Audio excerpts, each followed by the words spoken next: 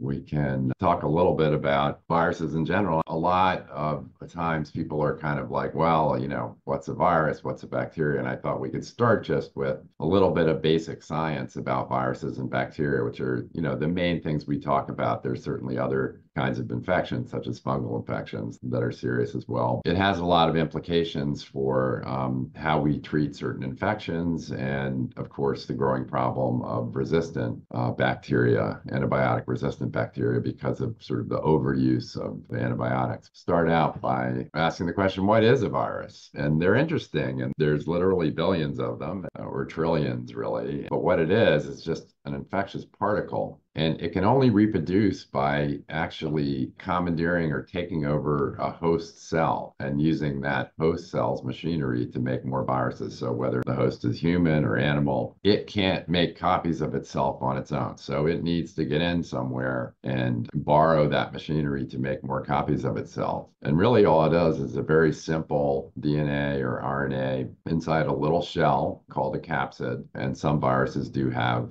envelopes on the outside which they also borrow from their host cells. But they're extremely diverse. They have different shapes and structures, different genomic makeup, and they infect all kinds of different hosts, you know, all kinds of different animals as well as humans. They reproduce by infecting their host cells and reprogramming those cells to just become little virus making factories. Very clever. They can't do this on their own, but they're not considered living organisms, unlike bacteria, which are really living organisms. Here's a few of the shapes that they can come in, but they all have this basic genome in the middle, the RNA or DNA that uh, is what does the work. And then they have this capsid outside and sometimes a, an envelope protein on the outside as well. So adenovirus is a common cold virus. This is the influenza virus is more spherical. So there's all kinds of different shapes and sizes, but we do know that they cause all kinds of different types of infections. In the winter, we're mostly uh, talking about respiratory infections such as the common cold, which most common colds are caused by something called rhinovirus, but there are many, many viruses that cause cold like symptoms. Obviously, COVID 19, influenza, RSV, which we'll talk more about, and then something called parainfluenza that can be a lot like the flu, human metapneumovirus. So, all these are viruses that can give us respiratory symptoms. But there are also, I'm sure some of you have been hearing about the digestive system infections. Norovirus is something that has been around for a long time time. And like a lot of things, once we sort of developed a good test for it, we're able to sort of know more about the prevalence of it. But norovirus is sort of the famous cruise ship virus,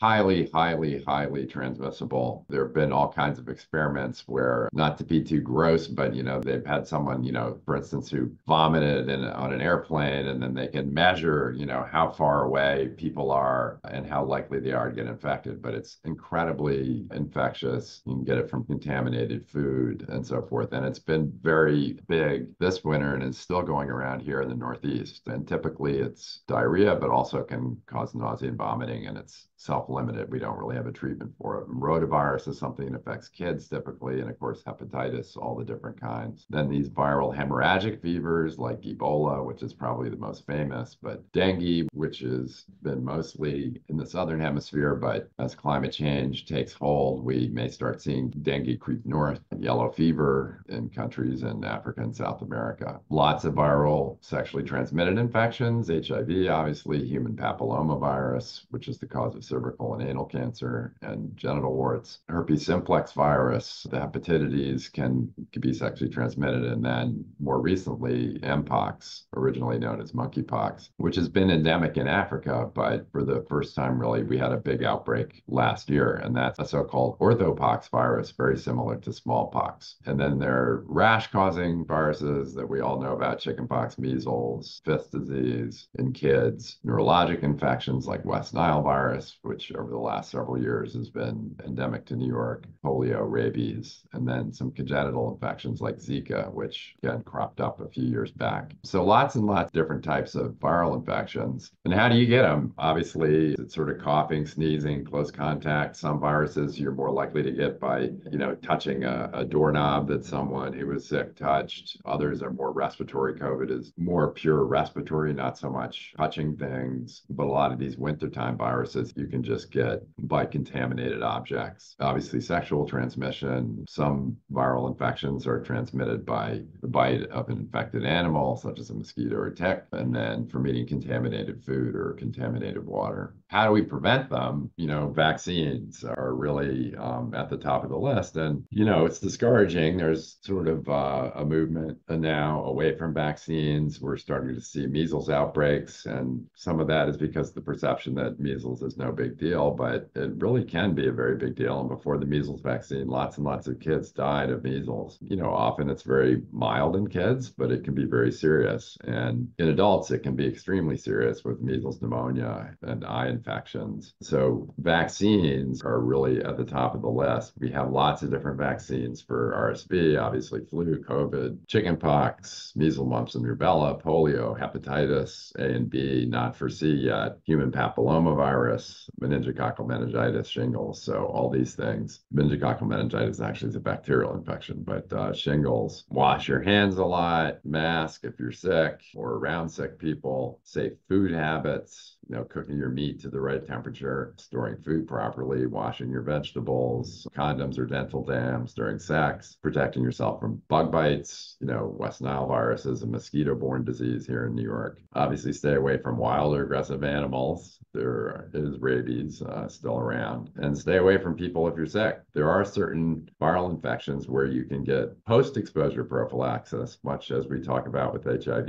If you don't have immunity to certain things like chickenpox or hepatitis B or rabies, certainly, or HIV, you can get treatments that will diminish your chances of actually developing disease. So there are a lot of ways these days that we can prevent them and there are ways that we can treat them. When I first started my career, there were not a lot of antivirals, but as time has gone on, we have more and more antivirals for things like flu, which the benefits of treating flu are relatively modest. But if you really start the treatment early in the disease, it'll shorten the disease and perhaps reduce the chance of hospitalization. Obviously, COVID 19, we have Paxlovid and other antivirals. Hepatitis B and C, we have excellent treatments now. HIV, Mpox, there's a treatment called tecovirimat which was originally for smallpox, that seemed to have some pretty good effectiveness. And there's ongoing trials looking at that. Herpes simplex and herpes zoster, we have treatments and immunomodulators for human papillomavirus, and then treatments for both preventing and treating CMV. So there's a lot more antivirals now than we used to have. So there are definitely things we can do. So how do they differ from bacteria? Well, as I mentioned, bacteria are microscopic living organisms. They have only one cell. There are millions, if not billions, of different types of bacteria that can be found all over the world and including all over our bodies. They're all over our skin, they're in our airways, they're in our mouth, throughout our digestive system, reproductive system, and urinary tract, we probably have 10 times more bacterial cells than we do have human cells in our bodies. But many of them serve a beneficial purpose, although some can cause disease. And the bacteria that live on our skin, for instance, can cause skin infections if they, you know, get in through a cut. If the balance of bacteria in your gut gets upset, you can have an overgrowth of certain bacteria that can cause diseases. So it's all a balance that we call the microbiome. Bacteria can also be found all over the world in soil, water, plants, animals, radioactive waste. They've been found in Arctic ice and glaciers and in hot springs. They're way up in the air, uh, up to 30,000 feet and down in the ocean depths. So bacteria are everywhere. They differ from, from viruses in that they're actually living organisms that can reproduce themselves. You know, it can be hard to tell when something is a viral infection versus a bacterial infection, but the vast majority of respiratory infections that we all experience sense in the wintertime are viral infections. Now, we don't always go and get tested for these, although we have PCR tests that can do a panel of sort of 15 to 20 different viruses, but you, you're really only going to get that test if you, you go to the emergency room or you go to the doctor, and often it's not necessary. But bacterial infections can cause, you know, similar symptoms, the cough, the fever, the aches. But the key thing is that antibiotics don't help treat viral infections. Antibiotics really only work for bacteria. And then, as we mentioned, antivirals can treat viral infections for those that we do have antivirals for. And so, you know, more and more we do have the ability to test. I mean, obviously, the home COVID test is a big breakthrough. And if we had home flu tests, you know, that would be perhaps even better. You know, sometimes for us as physicians, when patients call us and, you know, we get a lot of mm-hmm. calls during the winter with similar symptoms and it can be hard to really sort out, we try to discourage overusing antibiotics because that really can and is leading to resistant bacteria. And we have a harder and harder time finding antibiotics that will work. So I think as time goes on, the holy grail is really sort of trying to find a simple test that differentiates between a viral and a bacterial infection. But for now, a lot of times we'll sort of tell folks to kind of hang in there and use over the counter medications and let time do its thing. If you have a viral infection that's going to last five days and clear itself without treatment, but you start an antibiotic on the first day, and you get better in five days, there's an association. Well, the antibiotic is what cured it, but it may have just been a coincidence. So this can be a tricky problem. And there are certain situations where absolutely, even if, you know, we think it may be a viral infection in folks that have underlying lung disease, asthma, emphysema, that we may go ahead and do antibiotics in any case. So that doesn't turn into anything worse. So respiratory syncytial virus has sort of been in the news the last couple years. And really, it's more been in the news just because they came up with a vaccine for for it. It's discovered in 1956, so it's been around. And, you know, it was obviously around even before then. It's been around for a long time. But what's so dangerous with RSV particularly is in very, very young kids. So that's who we worry about the most. And that's what's always been the biggest issue because we don't really have any good treatments for it. You can get really severe infection in young babies, especially premature babies. And then also in people who are older, have other comorbidities like heart and lung disease or uh, are immunocompromised. In most people, RSV symptoms are just like every other cold virus. You get cough, fever, stuffy runny nose, lack of appetite. You just sort of take care of yourself, get through it. But it's really the very young and the very old that we worry about. So they did develop two vaccines last year in 2023 was the first year that they were available. One by a company, GlaxoSmithKline, called Arexvy, and one by the company Pfizer called Abrysvo. That is the one that is recommended for pregnant women. Both vaccines have just a little part of the RSV virus in it, and they cause an immune response that can protect you from the rest respiratory disease um, if you're infected with RSV in the future. So for the 60 and older crowd, it's sort of right now a recommendation that you discuss it with your healthcare provider. Not everyone necessarily needs an RSV vaccine, even at that age. But if you have other conditions that might cause you to have more severe disease, it's probably a good idea. It's looking like the RSV vaccine might last two years. So that would be a good thing if we didn't have to do that every year. But it's something to think about. I know we're all a little vaccine weary, but you know, the older you get, and I'll show a slide later, the more at risk you are. So staying protected, really vaccines are the best way. In the studies, they were really very, very effective in adults 60 years and older who had healthy immune systems. One dose of Arexvy was 83% effective in preventing lung infections like pneumonia um, during the first season after the vaccination. And during the second season, they still had protection up to 56%. The other vaccine, Abrysvo, was also highly effective, 89%. They're still looking in the second season as to how well that's going to work. So these vaccines, although like all vaccines, and we kind of learned this with COVID, there aren't too many vaccines that are 100% effective, but what they are good at is preventing more serious infections and making the course of the disease more mild. So something to think about. But where there's really um, been a breakthrough is with RSV immunization for children 19 months and younger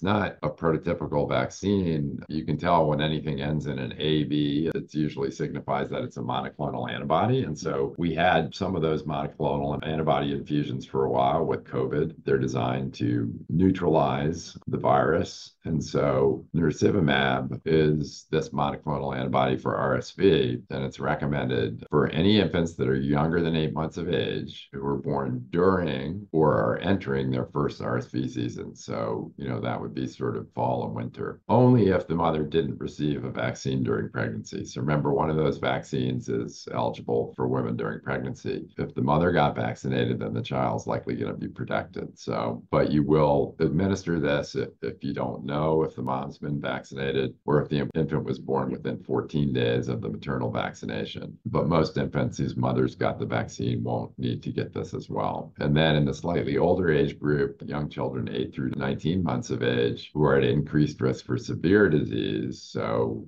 immune compromised, cystic fibrosis, other populations, they should probably get this for the start of the second RSV season. So this has really been pretty dramatic in terms of decreasing because these young kids could get very, very sick and be in the hospital for quite a while with RSV. So this is a real breakthrough for that age group. And it's just administered as a shot into the thigh muscle. It's one dose. There was a little bit of a, a supply issues this season. Hopefully that'll get worked out uh, and it'll be more widely available. It also reduces the risk of disease, severe disease, by about 80%. And one dose will protect infants for about five months, which is about how long the RSV season lasts. It's not like a vaccine, it's not activating the immune system.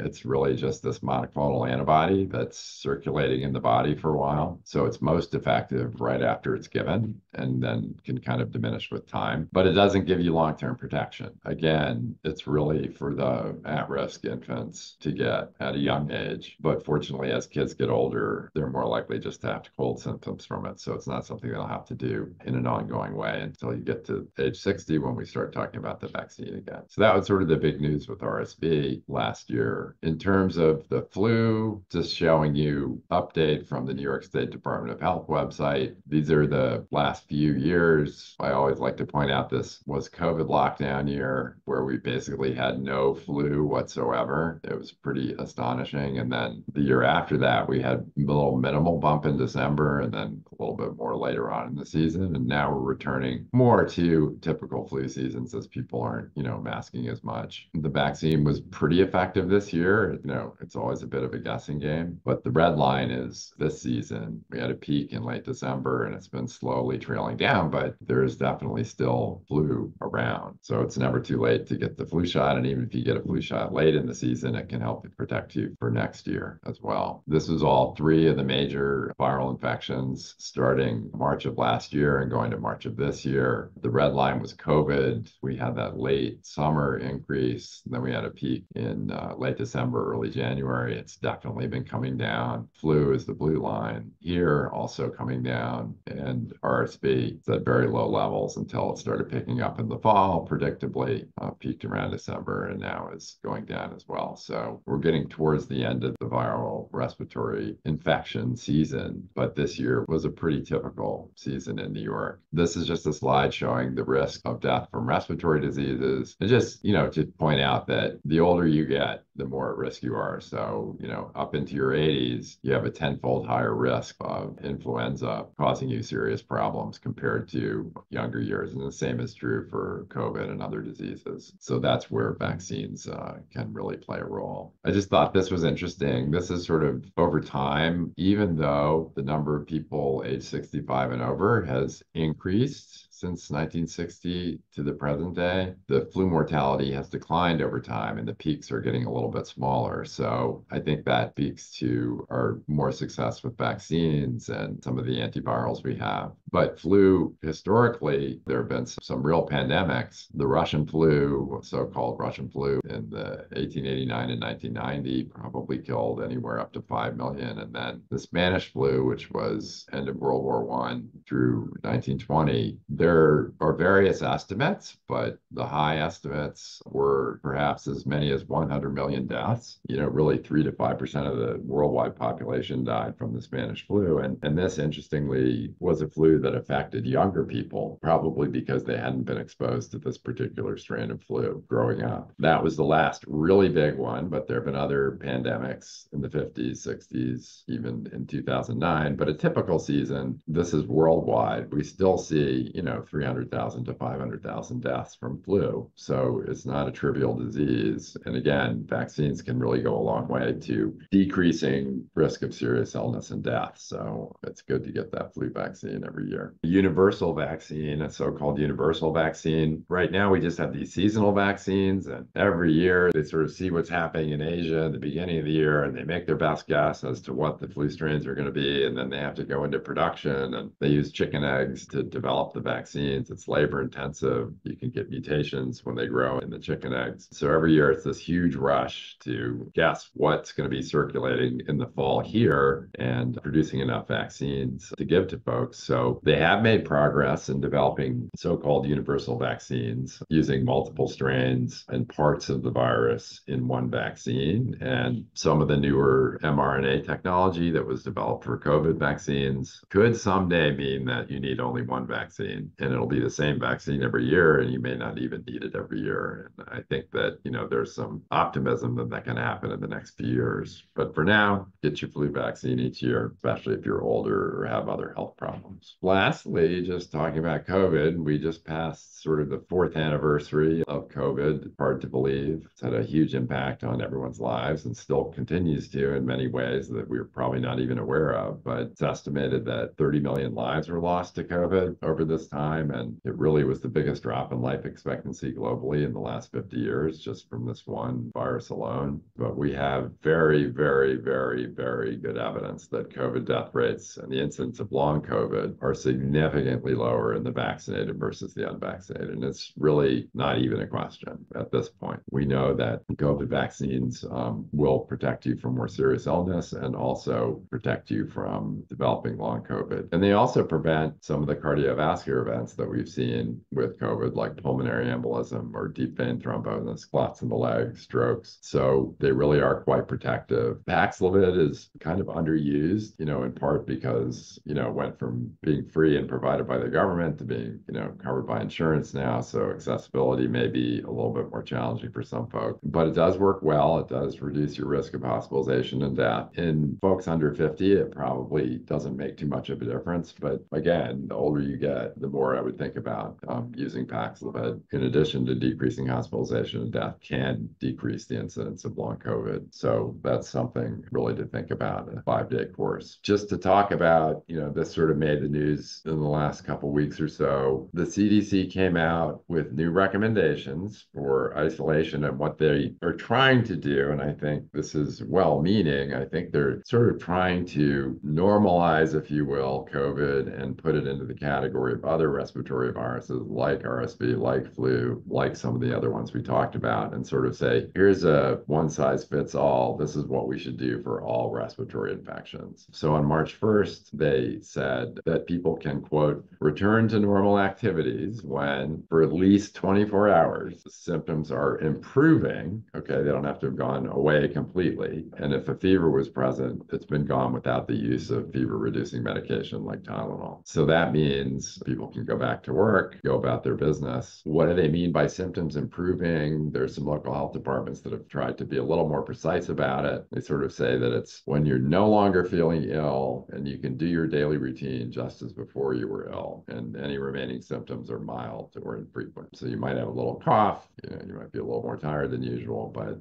overall you're feeling much better. However, you should still be cautious for at least five more days, and that includes wearing a mask. And certainly, if you're going to go visit someone, you know, who's elderly or at high risk, you should test yourself if you can to make sure that you test negative for COVID before you expose other folks. So this was sort of a compromise. On the criticism side, you can say it's capitalism at work. They just want people to get back to work and not give people flex time and paid time off for illness you know, there are some epidemiologists who feel that it is good to have a clear, consistent message that's consistent with other respiratory illnesses. And truly, we are in an era right now at this moment where there is a lower risk of severe disease. Most people in the United States have either had COVID or been vaccinated. So, unless you're in a high risk group, it probably makes some sense as long as people are sensible and try to be cautious. You know, the arguments against it are that we do know for sure there that one out of every three people are still transmitting COVID five days after symptom onset. So that five days never made that much sense anyway. And there are people who argue that you should wait to return to work until you test negative on an antigen test. But I think the horse is out of the barn. I think this is where we are right now. We're telling folks that if you're feeling better, you know, put a mask on and you can sort of get back to what you're doing. One prominent epidemiologist really came out in favor of changing these. They say that the CDC really did their homework, that they did a lot of modeling. They used testing data from over 600 people and compared it to the old guidance. And they actually found that there wasn't that much difference in onward transmission. And part of the reason is that because more than half of COVID 19 transmissions, so I get COVID 19, more than half of the people that I'm going to give it to, or I gave it to them when I didn't have any symptoms. That was always the thing that made COVID spread so much was that it's a disease, unlike other diseases, where it was spreading before people had symptoms. And so that's why they feel that most of that transmission takes place then. And in those who have symptoms, most of the onward transmission happens in the first three days. So they use the word most. That doesn't mean that people aren't getting it later on. But California and Oregon did change their guidelines a while back, and they haven't found any big change in the numbers of cases or hospitalizations so that's reassuring. Surveys found that most people do stay home while they're sick with COVID 19, um, although about 27% don't isolate at all when they're sick. This is Katelyn Jetelina, who's your local epidemiologist. She has a blog and sends out a newsletter. She thinks that in the end, this update won't greatly impact net community transmission. She believes that it will help encourage people who were doing nothing for not isolating and not doing anything to sort of now do something. But we'll see. But that's where we are. The arguments against are sort of what will people hear with these guidelines? They might focus on fever without paying attention to all the other instructions about symptoms improving. Are people going to keep a mask on for an additional five days or so after they return to their you know normal business? And what will businesses do? This gives employers a reason not to be as flexible and to kind of insist that people come back to work sooner. So again, one in three people are still going to be infectious at five days after symptom onset. And so some epidemiologists argue that we should be continuing to isolate until rapid tests are negative. All this is, you know, particularly if you're around people who are at high risk. But that's the new guidance. And it's putting us into this new era, I think, of an attempt at sort of normalizing COVID and saying it's a little bit like everything else. And I don't think it is completely. I mean, you know, we still do have folks who are at risk for getting long COVID and more severe disease and, and it really puts an onus on the immunocompromised and people with disabilities to keep themselves safe. So I don't think it's perfect, but that's where we are in terms of new guidance. What else is new in the COVID world? CDC come out. It was kind of didn't make much of a splash. They said, well, there was a recommendation for a monovalent vaccine you guys might remember that we had the bivalent vaccine a year or so ago. This fall, they recommended the monovalent vaccine targeted against the strain that was circulating. And they said if you're over 60, you can consider getting another one this spring. Uh, I'm not finding a lot of takers. I'm not even sure if I'm going to do it. I don't know. There's going to be another one in the fall, but it's out there as a recommendation if you're over 60. And, you know, again, particularly if you're at higher risk for serious disease and you happen to be a vaccine fan. Some people are on their sixth, seventh, or eighth vaccines now. There was that article in the newspaper of a fellow in Germany who, for some odd reason, got 274 vaccines or something. But I think people are getting a little bit weary, and I do feel we may settle into uh, a routine of vaccines in the fall. And as we saw by those curves, COVID is diminishing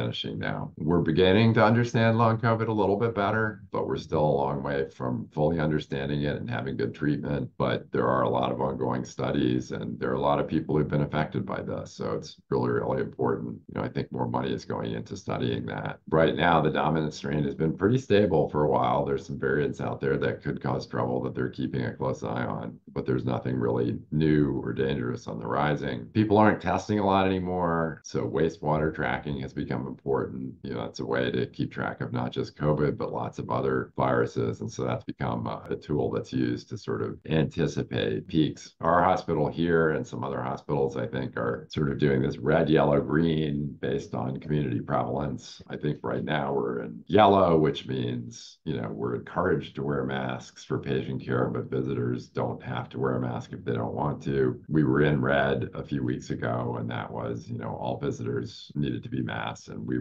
needed to be masked for patient care. And I suppose we might get to green where that will be no masks required, although some people may continue to still wear masks. They're trying to implement more sensible recommendations that we can kind of shift based on prevalence. And again, a plug for vaccination. And I think the last slide I had was just to show here are the common symptoms of flu and RSV and COVID 19. And you know, it's a little hard to pick anything out that would tell you, but I guess when we have people with severe aches, body aches, that's often suggestive of flu. Fever chills might be a little more suggestive of flu versus COVID and RSV. But there's nothing that really stands out. Maybe a little more cough and wheezing with RSV. It's pretty hard to tell. I mean, you can have any of these symptoms, and some of it is based on just what's circulating. If we know we're in a heavy flu period and people call up with classic symptoms, often we'll just tell them to go ahead and get on treatment without even testing or having them come in. But I'm not sure these charts are very helpful in telling you because really uh, all those symptoms are so similar.